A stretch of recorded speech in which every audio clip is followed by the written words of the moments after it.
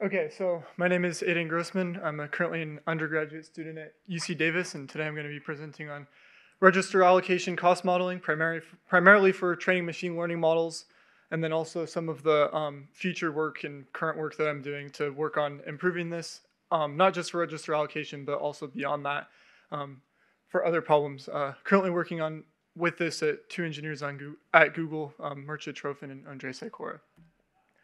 Um, so first of all, why are why are having these why is having these kinds of cost models important? Um, so we care primarily because bench we want cost models because we could just do benchmarking, but benchmarking can be pretty expensive and it's also noisy. And ideally, when we're training machine learning models, we want to have deterministic reward metrics because you can't do noisy rewards, but it makes things a little bit more complicated. Um, and then also the better the accuracy of the cost model, the more deterministic quote unquote model training is. So currently we're using a very basic linear cost model that we'll get to in a little bit. And you're able to train machine learning models that will improve performance, but you'll train a bunch of them and then you'll select the one that performs the best. So the training isn't very deterministic in the performance that comes out of it. And then also higher accuracy will lead to better peak performance that we're able to get out of the models. So the current linear model shipping in upstream LLVM, it's just a basic linear model, takes in six inputs, which are just the counts of um, individual instructions, and then it's multiplied by approximate latency metrics, and then also weighted by machine basic block frequency from PGO data. So it does produce some signal, um, not necessarily a lot, but it definitely leaves a lot to be desired in terms of determinism for training. Um, it's used to train models that are currently shipping in production, like ones used to compile Google search. And you can definitely see certain metrics improve, like loads will remove once you train an ML model using that um, cost model, but it's definitely leaves a lot to be desired. So in order to be able to see how good it is, we need an evaluation framework for this. So what we're doing is we're taking in source code in the form of, um, for this framework, I just have it set up to do annotated single source benchmarks. So you take in a single source benchmark, um, you put it into the compiler along with PGO data from a standard compilation. Um, and then we're fuzzing specifically the eviction decisions in the register allocator because that's what we're focused on um, for like the specific heuristic that we're replacing. We get a score out from the um, from the machine function pass that I mentioned earlier, and then we also get an executable out. We benchmark the executable a bunch of times, take the average of that, and then we compare it with the score, and we're able to do statistical analysis on that. Um, and then some specific metrics that we're um, using to evaluate this. So polar the polarity correct. So if we have a bunch of different fuzzed executables, basically how many how many times is the um, how many times is the cost model able to predict if there's a speed up or a slowdown compared to the ground truth data. Um, the mean difference in terms of um, how much how big the difference is between the predicted speed up and the actual speed up or slowdown. And then also the absolute ordering. So we're using a tau coefficient for that. Um, so the current linear model that we're using, um, the performance is, um, yeah, not particularly good. Uh, the polarity metric hovers usually around the 50% mark and it's a binary variable. Um, and then the average difference is usually a bit under 5% in terms of the predicted speed up and slowdown, but that's, it's, that's um, very dependent upon the actual spread of the benchmark, which is um, like fuzzing register allocations, you don't necessarily get a very big spread in terms of um, like the actual speedups and slowdowns. Um, and then for this one, the ordering, it's not really able to order anything particularly well either with the tau coefficients usually being around zero. Um, so these metrics do improve if we're using more ideal execution conditions. So if we take a benchmark that has very few like level one data cache misses, these metrics are able to improve quite a bit. Um, like the polarity correct maybe goes up to around 70%. Um, average difference stays the same, and the tau coefficient goes up to maybe around, around like 0.5. And then um, the other thing to note is it's a linear model, so we could just do a linear regression to try and see if we can get better performance there. And that will significantly improve performance, but significantly improves performance on an individual sample, which doesn't offer any generality. You'll, you'll do a linear regression on one sample, um, same benchmark, just a different sample, and it'll perform about the same as it did before. So, um, so to work on improving this situation, um, we're using um, tested out using new state-of-the-art basic block cost models. Um, so they're pretty accurate. Um, uiCA, which is the one that I used, um, gets to within about 1% to 2% accuracy in terms of latency, assuming ideal execution conditions. There's LLVM MCA too, but it's not particularly as accurate. And then they're also reasonably fast. Um, so yeah, models a lot more execution, a lot more like conditions of execution that you'll see in modern pipeline super scalar out of order CPUs. Um, and then yeah, another thing to note, learned models are learned cost models in this specific area are pretty um, performant too, but we'll get to that in a little bit. So changing up the process a little bit in order to um, evaluate it. So we're basically just taking source code and PGO data in again. Um, instead of just doing everything in the compiler, we're taking basic block frequencies, emitting that um, after all the compiler transforms at like around the time of ASM print, um, and then also getting an executable out of that, that. And then we feed that into the basic block cost model. So we get we extract all the basic blocks from that executable. We find latencies for it, and then we're multiplying that by the um, by the machine basic block frequencies in order to get an overall cost for um, the small applications that we're looking at. Um, and the performance of using these benchmarks, um, like somewhat as expected, definitely um, a lot better than the linear model. Um, yeah, the percent error drops by up to 50% on the same benchmarks. And then, um, yeah, the, polar, the polarity correct me measurement, we're not hitting, it's doing a lot better than just randomly guessing, like the linear model is essentially hitting, um, depending upon the benchmark. And then it's also, the big thing is it's also able to cover um, somewhat surprisingly, since they don't actually model any non-ideal execution conditions, but like with the benchmarks that I've tested, we're seeing it like able to model cases fairly well where there are events like level one data cache misses. Um, yeah, and then the actual accuracy of order of like ordering is about the same. Like if there's non-ideal execution conditions, it's not really able to order anything. But another thing to note about the ordering metric is um, there's a very little spread, especially depending upon um, the execution conditions. So even like a little bit of noise in the ground truth data will end up impacting the ordering there. So um, even if the tau coefficient isn't like one, it can still be a pretty um, good ordering.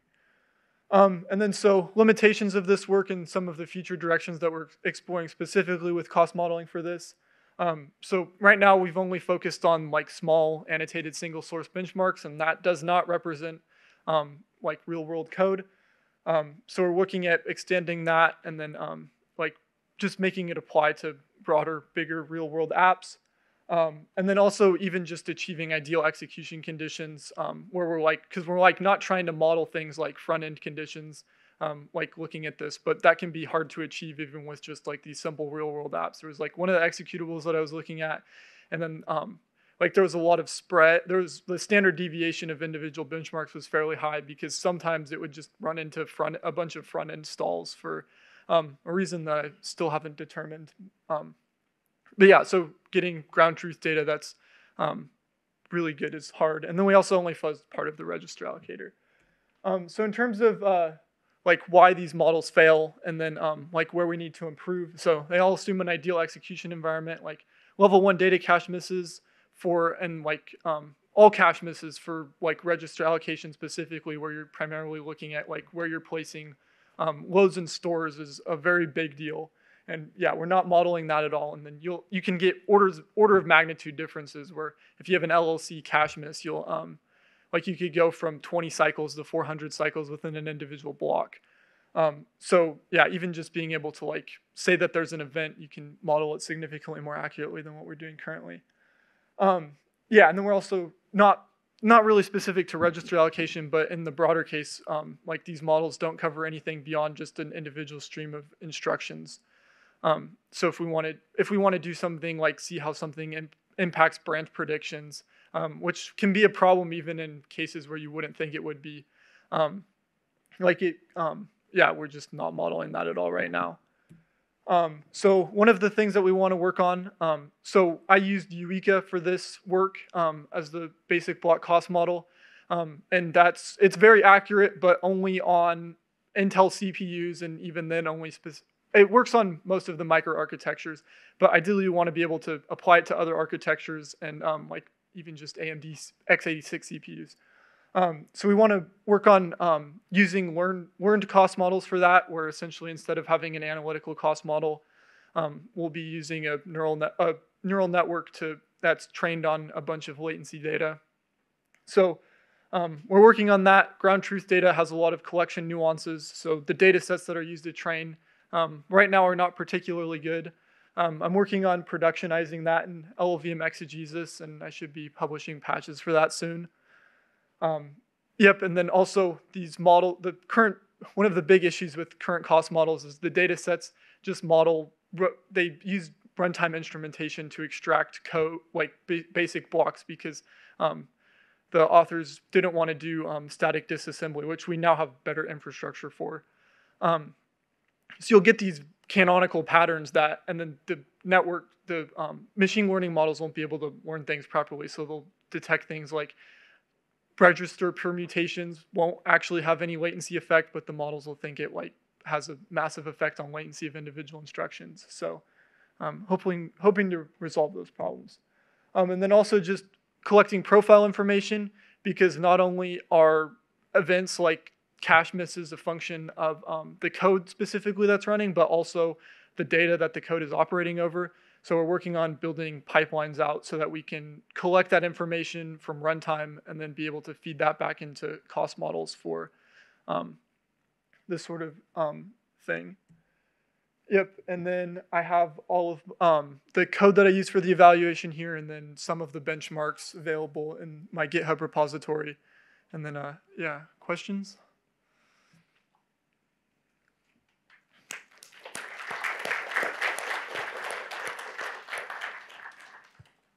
Okay, great. Uh, questions? Hi, uh, thanks for that information. Um, I was just wondering, in a practical example, uh, like you said, um, you would do, want to improve the profile collection. I, I guess that means also the basic block um, information. Would you do that like do you do with PGO information in compiler RT, or would that be a separate kind of process you have to run on the executable afterwards? Yeah, so it would definitely be a runtime process that you'd be running because yeah, you don't have any way to really statically predict when those events are going to happen. Um, how exactly we're doing that, we're still figuring it out, but probably um, like probably using the Linux perf tools and then correlating events to individual blocks using that infrastructure is what we're thinking currently. But yeah, like compiler RT infrastructure to read performance counters or something. Um, or using LLVM Xray, I've looked at using that too. So we have a, we're investigating a couple options for that. Okay, thank you.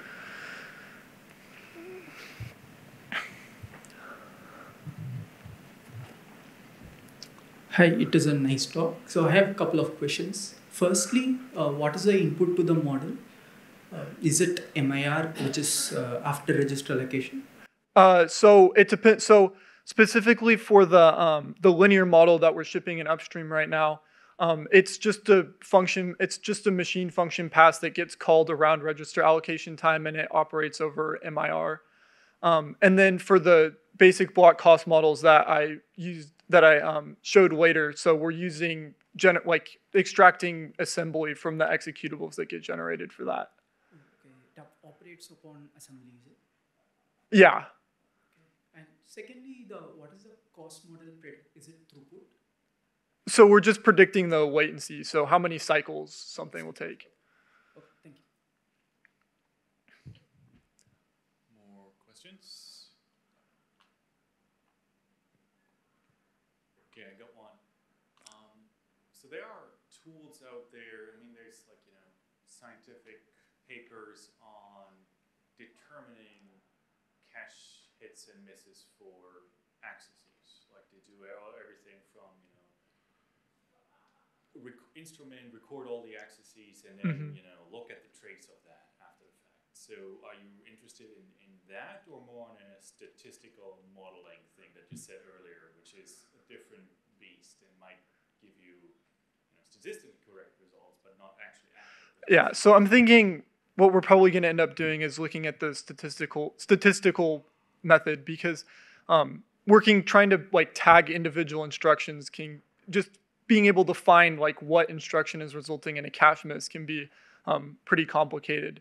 Because um, we're like we're looking like I'm looking at doing that, but like doing it in an individual basic block, like you're normally using specialized techniques like uh, you'll there's like one technique called like the sushi roll where you'll um like slowly unroll a basic block and then you're you're able to correlate performance counter events with the cycles counter um, by basically having it overflow and then that can generate an interrupt. So you're able to like execute it like one cycle at a time and then you're able to um, like see you're you're able to use that to um, like see which exact instructions are hitting that. But otherwise it's you're it's difficult to um, determine like which exact instructions or blocks are um, like hitting those events so probably more of a statistical method if we're since we want to ideally implement it in production Okay, that makes sense. And then maybe one more question.